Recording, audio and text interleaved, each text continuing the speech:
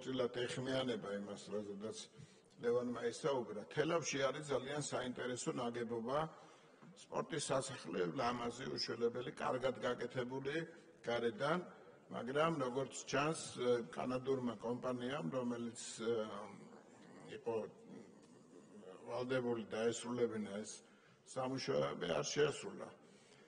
თავის ვალდებულებები და საკმაოდ რთული სამართლებრივი ჩიხი შეიქმნა. რის გამოც პრობლემა დღემდე გადაუწყვეტელია. გარდა იმისა, ახლა რომ სპორტული სპორტის თემა არის ყველასთვის აქტუალური, თქვენს დაინტერესება პიროვნულადაც თარობის დაინტერესება ამ მიმართულებით ყველა ვიცით. რა პერსპექტივა აქვს ამას?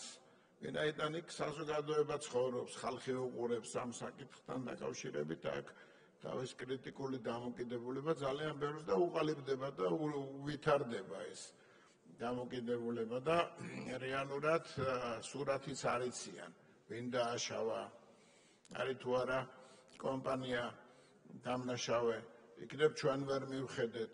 ან სწორად გავაგებინოთ ამ პერსპექტივა შეექნებ უთხრათ აი ამ ტრიბუნიდან რა პერსპექტივა აქვს აი ამის დამთავრებას.